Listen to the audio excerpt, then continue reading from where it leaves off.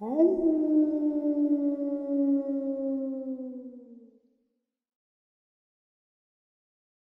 Maybe you remember her poster on Andy's wall in Shawshank Redemption, or maybe you've seen some of her old movies. Either way, Rita Hayworth remains a household name to this day.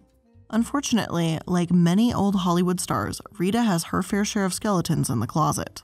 From a disturbing childhood to a turbulent love life to becoming a literal princess, we're going to talk about it all to see what we can learn about this Hollywood icon.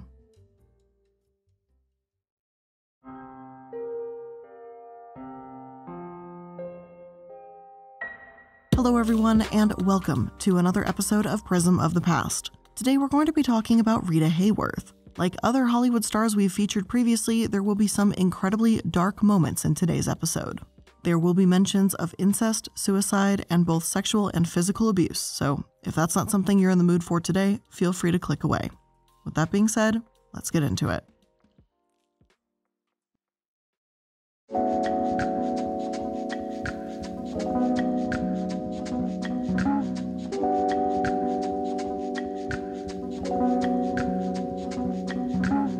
Rita Hayworth was born Margarita Carmen Cansino on October 17, 1918, in Brooklyn, New York. Her father was a Spanish born dancer, Eduardo Cansino, and Volga Hayworth.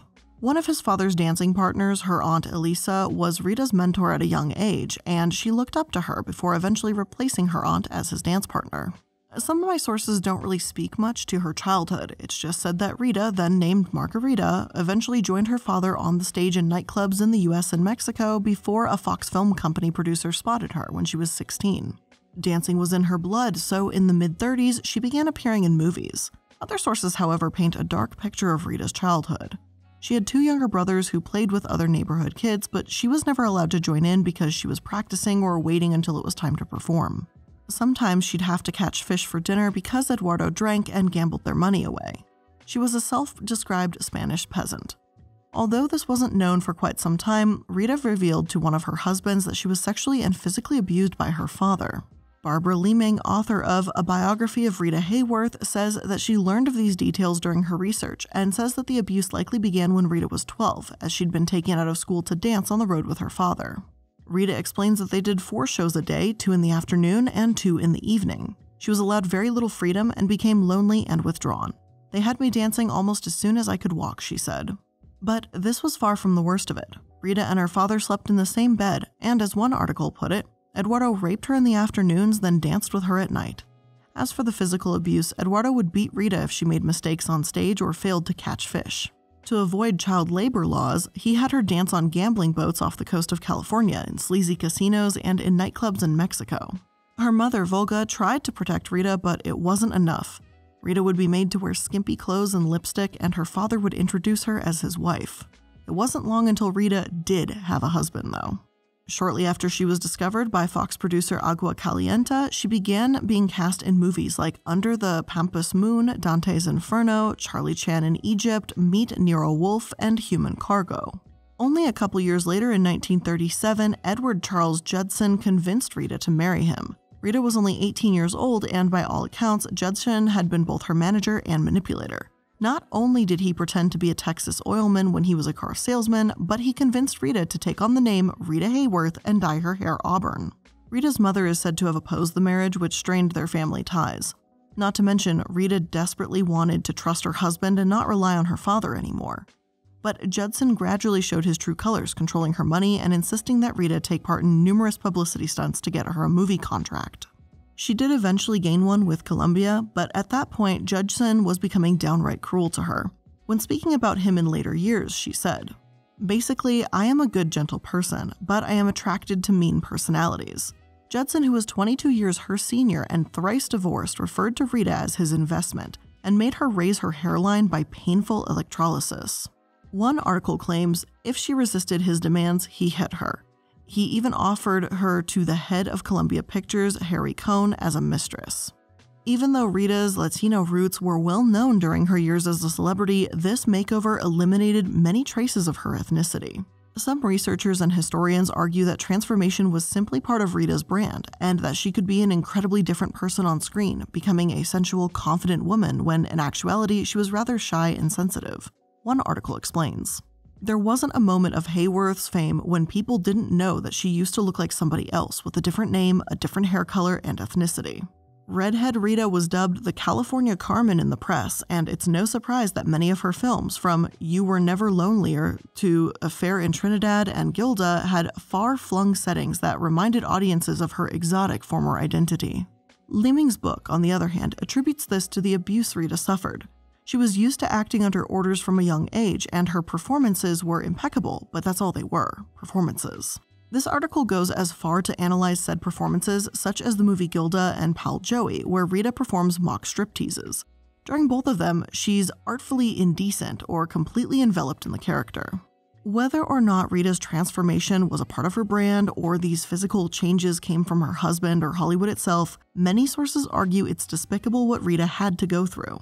She was idolized both as a white body and as an ethnic one, Erin Blakemore writes. She played both sexy and wholesome roles, taking one the permissiveness Hollywood felt her ethnicity allowed while simultaneously protecting her identity as a chaste white woman. Personally, I feel that if Rita wanted to dye her hair red or change her name, that's of course her decision to make. But the idea that her husband slash manager forced her to in order to make her more acceptable to Hollywood at that time, of course that's going to leave a bad taste in my mouth, as it should yours. Ultimately, Judson's plan worked. Columbia studio head Harry Cohn and Rita's husband Judson altered her appearance on her rise to fame. At first, Cohn loaned her out to other studios to capitalize on his investment in Rita, and once she returned to Columbia, she was much bigger star than when she had left. Columbia was even referred to as the Rita Hayworth studio at one point in time because she was such a major name there. She was known for playing famous femme fatale roles in melodramas such as The Lady in Question, Blood and Sand, and The Strawberry Blonde. She also danced opposite Fred Astaire, who later referred to Rita as his favorite dance partner. Yet, despite all the superficial things, changing her hair color and hairline, Columbia never taught Rita Hayworth to sing, a fact she's said to have resented them for. Every time you witness Rita singing in a movie, it's been dubbed. Thankfully, after earning a name for herself, Rita finally felt comfortable enough to leave Judson. He apparently threatened to throw acid in her face when she said she was leaving, but after granting him a chunk of California real estate and 12,000 in cash, he left her alone and in February 1942, the divorce was settled. One documentary claims that Cohn even paid Judson $30,000 to leave Rita alone forever and to keep his mouth shut. Apparently, when filming My Gal Sal, Rita fell for co star Victor Mature, and Cohn knew that if this information became public, it would damage the studio's and Rita's rising fame. She and Victor were engaged but never married. Instead, she fell for Orson Welles, who we'll get into in just a minute. Unfortunately, though, this was not the end of the abuse. Cohn, furious that Rita rejected him, treated her terribly as well. Rita's friend Bob Schiffer described Cohn's actions on the 1948 set of The Lives of Carmen to author Leaming. All Harry Cohn wanted to do was get even, because he'd never had any sexual encounter of any kind with Rita, which annoyed the hell out of him. A maid outside Rita's dressing room reported on exactly who went in and out, and a bug inside even picked up Rita's private conversations. Rita had known about the bug for some time, but she also knew if she tore it out, another would soon take its place. Accordingly, she whispered intimate details that she would not want Cohn to know. But one thing Rita made no attempt to conceal from Harry Cohn was her contempt for him and his toadies. She hated them all. She didn't pull many punches with Cohn as to what she thought of him. Despite the ridiculous behavior she had to deal with from Cohn, Rita wasn't afraid to stand up for herself. On her rise to the top in the 40s, Rita had a love affair with eccentric billionaire Howard Hughes. Rumor and legend has it that this relationship lives on, as the land of Hughes Ranch home is also referred to as Rita's Ranch. However, in 1942, they fizzled, just as her relationship with Victor did, and she found a man that she called the great love of my life, Orson Welles. It's been said that to draw Rita out of her shell, Welles would pretend to read her mind just so she'd have to talk to him to correct him. He pursued her relentlessly, writing letters to her and even claiming that he knew he wanted to marry her the moment he saw her pinup. Vanity Fair says that not only did Rita enjoy spending time with Welles and his friends at the theater, but one of the reasons they may have connected so well is because they were about the same age. When they married, everything seemed right by the world.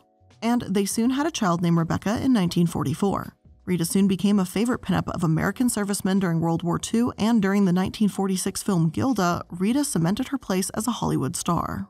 The movie even earned her the nickname the Love Goddess, on the other hand, later in life, Rita seemed to have mixed feelings about the whole thing. She once said, Let's face it, being a sex symbol or whatever they call it, that was great to me. Okay, so I made some bad pictures. Well, who doesn't have zingers and zongers? Even Orson, he's had his zongers. That's why the most important thing you have in this business is a sense of humor. Then, on a more negative note, she remarked, Men go to bed with Gilda, but wake up with me. Sure, she had money and fame, but people already assumed that they knew Rita without actually getting to know her at all. People who worked with her at the time said that Rita was quiet, professional, and also a little sad. It was around this time that Rita's mother passed away, devastating Rita. She seemed to value family more after this happened, reuniting with her brothers and wanting to spend time at home with Orson and Rebecca. Yet it was something he wasn't able or perhaps willing to give her. Only a month after Gilda came out, a photo of Rita was glued to the first atom bomb to be tested in peacetime. Orson said Rita almost went insane. She was so angry. Orson was able to convince her that this wasn't a publicity stunt by Cohn, but a homage to her from the flight crew. Though Rita was emphatic that she didn't want to be Gilda all her life, there was even more frustrations in her personal life as the cracks in her happy marriage began to show. According to Orson, the atom bomb incident was the first time Rita flew into an angry rage. She would never get angry at him, but at Cohn, her father, her mother, or her brother. She would break all the furniture and she'd get in a car and I'd have to get in a car and try to control her. She'd drive up the hills suicidally. Terrible, terrible nights, he said. The dependency between Rita and her husband wasn't healthy. As one source puts it, the marriage traded financial dependence on his part with emotional dependency on hers. To make matters worse, Orson began seeing other actresses like Judy Garland on the side. Rita wanted to leave him. They separated once she discovered the cheating, but Orson and Rita still depended on one another financially. Not only had Orson made bad business decisions, but he'd been blacklisted from Hollywood too. And this was in part due to the Red Scare, a topic we've touched on previously. Anything that was left wing would be deemed communist in those days, and Orson found himself straying too far into what was considered communist territory. The FBI opened up a file on Welles in April 1941, just before Citizen Kane's release, and kept it active until 1956, even going so far as to call the movie nothing more than an extension of the Communist Party. So, in an attempt to make some money and get Orson Welles on Hollywood's good side again, he and Rita made a new movie, The Lady from Shanghai. Rita's signature hair was dyed blonde, and some say that the film seemed to be about hate as opposed to love. All in all, the movie didn't live up to its ambition, and it's been called puzzling but thrilling to this day. The couple divorced in 1947 after the film was released, with Rita citing his prolonged absences and obsessive dedication to his work as the reason. Mr. Welles showed no interest in establishing a home. Mr. Welles told me he should never have married me in the first place, as it interfered with his freedom in his way of life, she said. After all this stress, Rita needed a vacation. She attended a charity ball at the Eiffel Tower and gave a speech in French on behalf of poor children. One member in the audience was enthralled, Prince Ali Khan, according to my source. Prince Ali Khan, whom Leaming describes as a Casanova, sybarite, gentleman jockey, auto racer, hunter, pilot, horse breeder, soldier, and Muslim religious leader, was the son of Aga Khan, the Imam of millions of Asian and African Ismaili Muslims. Though he was married, Khan soon convinced famous hostess Elsa Maxwell to introduce him to Hayworth. He pursued the reluctant star across the French Riviera, filling her suites with flowers and buzzing her hotels in his private plane. According to Leaming, he even allegedly sent a fortune teller to the superstitious Hayworth to tell her to be with him. And this was a massive scandal. Khan's father was the spiritual leader of almost 9 million. Rita was one of the highest paid actresses earning almost $400,000 a year and she was with a married man. The General Federation of Women's Clubs boycotted her films, the Pop himself condemned the relationship as illicit, but this whirlwind romance didn't stop there.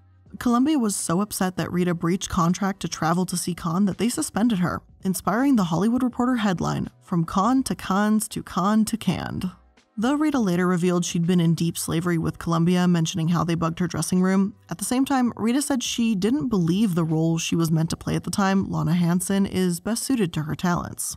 Without Hollywood in the way, Ali proposed to Rita and promised he'd divorce his wife immediately. Though the prince had been smitten with Rita since he laid eyes on her, Rita's secretary and traveling companion, Shifra Haran, said that Rita didn't quite have feelings as strong as his. Orson Welles claimed that at one point before Ali and Rita were married, she was so nervous that she asked Welles to take her back. According to Vanity Fair, against his better judgment, he had to advise her to go through with it. No law could stop her from divorcing Ali if it didn't work out. She was marrying the most promiscuous man in Europe, Welles said. Just the worst marriage that could ever have happened, and she knew it. It was a fatal marriage, the worst thing that could have happened to her. He was charming, attractive, a nice man, but the wrong husband for her. Sure enough, shortly after having a daughter, Yasmin, in 1949, things began to fall apart for Rita and Ali too. They fought frequently, he was often absent, and just as Ali had done with his previous wife, he began to cheat. Rita couldn't tolerate this, nor the duties of a princess. Etiquette, royal protocol, and exhausting society events. It wasn't the life Rita wanted. She lashed out, even throwing drinks, picture frames, and books in Ali's face. As one documentary about her life explains, Rita had just wanted privacy at that point. She wanted to be a wife and a mother.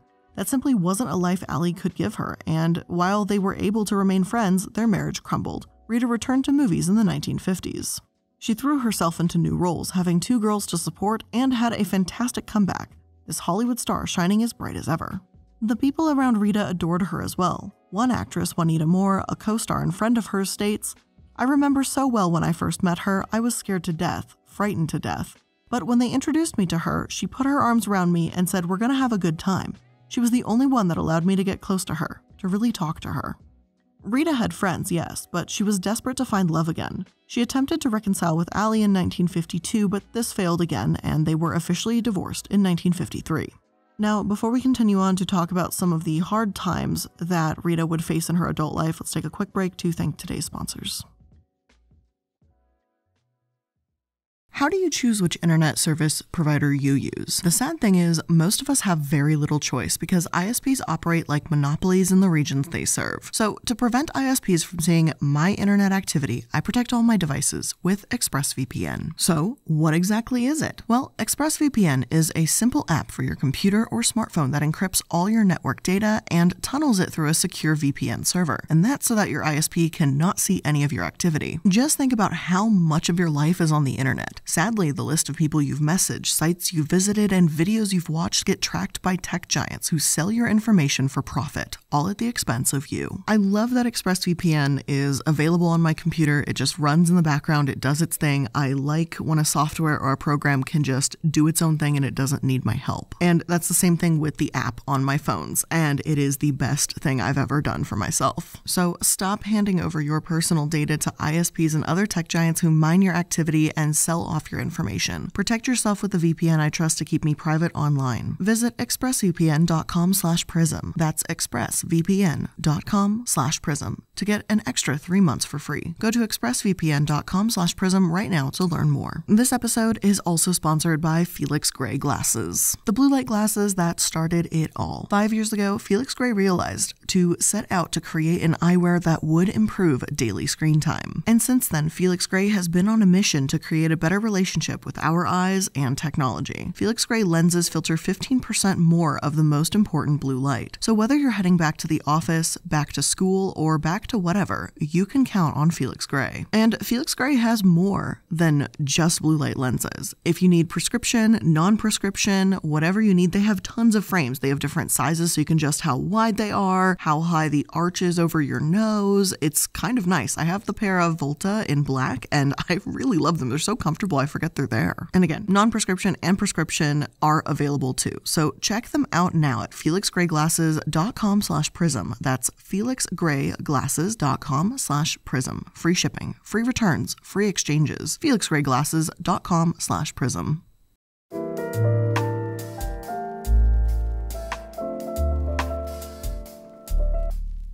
Big band singer Dick Haymes was literally known as Mr. Evil around Hollywood. Some sources claim that he and Rita were married so quickly in 1953 because Haymes was about to be deported to Argentina. Aside from taking care of his citizenship, Rita also paid for all of Haymes' debts. He had so many that he couldn't even step into the state of California without getting arrested. Whether it was the immigration department or the IRS, the bad publicity wore on Rita. The worst of it came when the Society for the Prevention of Cruelty to Children actually stepped in, and according to one source, Hayworth was investigated for child neglect in April 1954 when she left nine year old Rebecca and her younger half sister, Yasmin Aga Khan, with a babysitter in New York while she traveled to Florida with her fourth husband, singer Dick Haymes. The Society for the Prevention of Cruelty to Children stepped in after neighbors complained that the oldest girl was not in school and both were playing in trash. Rebecca had attended boarding schools and summer camps in France, Switzerland, and California. It wasn't because Mother was filming in so many places, it was because she was married so often, she said. Nothing ever came of these charges, though it seems like her former husband, Ali, helped her fight them. Both Rebecca and Yasmin were returned to her from protective court custody. The documentary about Rita I found also describes this event, and they kind of recall it a little differently, saying the entire event was actually Haymes's fault. It claims that Rebecca and Yasmin were staying with Haymes's mother, and unbeknownst to Rita, the children were left alone. Rita's marriage with Haymes came to a head not long afterwards when Haymes struck Rita in the face at Coconut Grove nightclub one night. She left him, filing for divorce that year in 1955. I do want to make a point to mention here that although I've seen numerous sources in paper mention the Coconut Grove as a place that the couples would frequent, I didn't find many reputable sources repeating this exact story. Regardless of how exactly it happened, the marriage did end. This upset Rita so deeply that she was sent to bed under sedatives by her doctor and told to rest. Worse yet, that same year, Columbia Studios sued Rita for refusing to appear in the film Joseph and His Brethren. She had been traveling to Europe with her children, both to clear her head and possibly so that Ali could see his daughter Yasmin. Ali originally offered Rita a million dollars to raise Yasmin in the Muslim faith with Muslim instructors and to bring her to Europe for two to three months each year. Rita refused, however, and stated that she wanted her daughter to be raised in America and in the Christian faith. Ali Khan died when the Yasmin was young in 1960, but during this time was trying to juggle a career, her two children, and custody battles. Needless to say, it wasn't really working. So by this point, Rita was so frustrated with Columbia and Harry Cohn that she refused to even show up for the proceedings. Columbia argued that Rita had agreed to appear in two films and she was contracted to do so. But Rita said otherwise. In fact, she sued them right back, demanding the return of a $100,000 bond posted to guarantee her fulfillment of her contract with Columbia according to the New York Times article from April 9, 1955. The complaint said Columbia had nullified the contract by its failure to begin principal photography by last March 8th on the first of two pictures. It was revealed yesterday that Miss Hayworth had notified Columbia she considered the contract ended because of delays in starting Joseph and his brethren, which was said to have been the first film. Although I wasn't able to find a definitive end to this suit and it seems they may have settled out of court, grainy newspapers from the 60s say that even a decade later, Rita would flinch at the sound of Cohn's name. She claims she felt like she was owned by them and that though she wasn't scared of him, he was a monster. Supposedly low on funds after the legal battles and her marriage with Haymes, Rita sued Orson Welles for unpaid child support nine years after the original $50 a week judgment had been handed down for their daughter, Rebecca. This could have just been because she wanted him to pay child support too. I can't confirm what her finances were at this time. She was unsuccessful, but just a couple years later, she found herself in a fifth and final marriage with James Hill. Rita Hayworth met James Hill not long after divorcing Haymes. He cast her in one of her last major films, Separate Tables. They married on February 2, 1958, and though Hill urged her to keep acting, Rita wanted to retire and paint. Hill pushing her to be in movies was the least of Rita's troubles, though. One friend, Charlton Heston, described a meal with the newlyweds in Spain as the single most embarrassing night of my life. Apparently, Hill heaped obscene abuse on Rita until she was reduced to tears, her face buried in her hands. Heston also wrote in his autobiography that he was tempted to slug Hill, but he and his wife left the table instead. I'm ashamed of walking away from Miss Hayworth's humiliation. I never saw her again, he added. Both his mental cruelty and pressure led Rita to file divorce for a fifth and final time after only three years of marriage. Throughout the 60s, Rita faded from the spotlight. She told one reporter that she felt cast aside because Hollywood only wanted an image and not the depth and feeling that she could provide. At this time, Rita also began to display symptoms of early onset Alzheimer's. However, being relatively young, family and friends attributed her confusion and fading memory to severe alcoholism. Though Rita tried to debut on Broadway in 1962 with Step on a Crack, it was delayed for undisclosed health reasons. In 1970, John Hallowell interviewed Rita in the New York Times in an article that's questionable at best and shows just how many considered Rita just to be some faded, alcoholic star rather than looking a bit closer. He wrote Rita Hayworth is not Gilda anymore. Age has had at her. The body is heavier, the face is lined, it doesn't look lifted, and the celebrated red hair is now cut short. But you could never mistake her for anyone else. Just by the walk alone, a walk that has been choreographed and copied a thousand times, all legs. Or by the way she tosses her head to imaginary movie cameras that never stop, wearing a black and white Greek native dress that billows so you have to guess just how much age has done to that body. Rita Hayworth sits me down in her sparse study at a square table. And speculating what, what's under her dress in an article, it's just weird, but I'm pretty sure that wouldn't have made it past editors today. But Aside from that, I did genuinely find Rita's humor and attitude a bit refreshing. Her mental state had gotten so bad that on the set of The Wrath of God in 1972, her ability to memorize lines just evaporated. One makeup artist said she taught Rita one line at a time, moving between the dressing room and set every sentence. Her children grown, a lonely Hayworth would let her dogs out in the middle of the night in Beverly Hills, hoping to talk to neighbors. Often, neighbor Glenn Ford, her co star in Gilda, would come out at night to keep a confused Hayworth company. She often became violent, once throwing a drink at dancer Adele Astaire's face in front of Adele's brother Fred.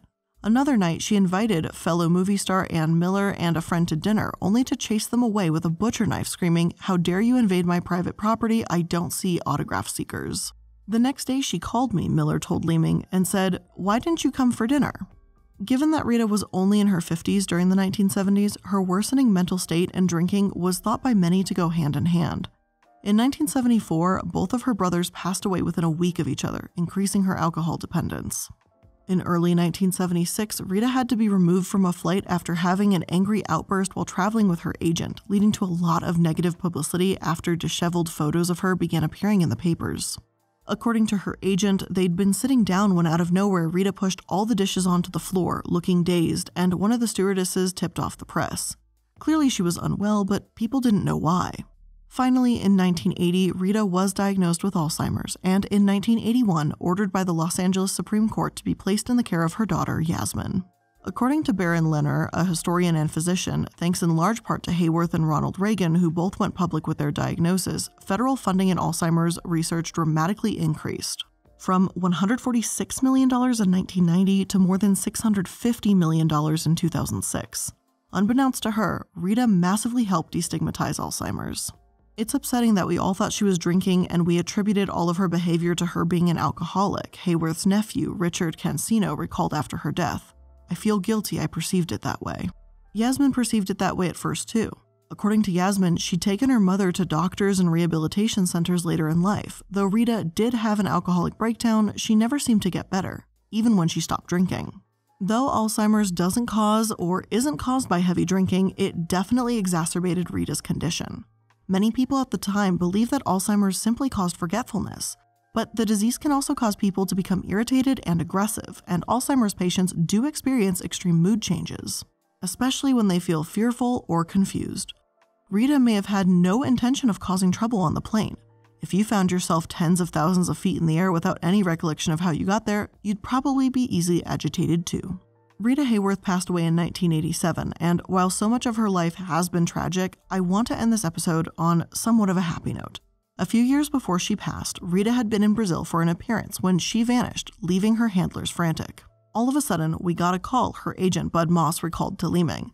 About a mile up the road on the beach, there was a group of kids flying these beautiful kites, and there was Rita sitting there on the beach with these little kids, flying kites with them. I think it's beautiful that at the end of her life, Rita was able to find comfort in her daughter Yasmin, who continues to have annual Rita Hayworth galas in remembrance of her mother and to raise funds for the Alzheimer's Association. The first gala was held in 1985, and they've raised almost $20 million since that time. To her fans, Rita Hayworth was bold and beautiful, but to those who knew her, Rita was soft spoken, graceful, and kind. So much more than Gilda, a woman purely invented for the screen. And that is going to end today's episode of Prism of the Past. I hope you learned something new about this little look into Rita Hayworth's incredibly tragic but incredibly interesting life. Make sure that you're liking, following, and subscribing to these episodes so that you can stay up to date on all of the recent ones. I appreciate you taking some time to spend it here with me today, and I'll see you in the next one. Bye.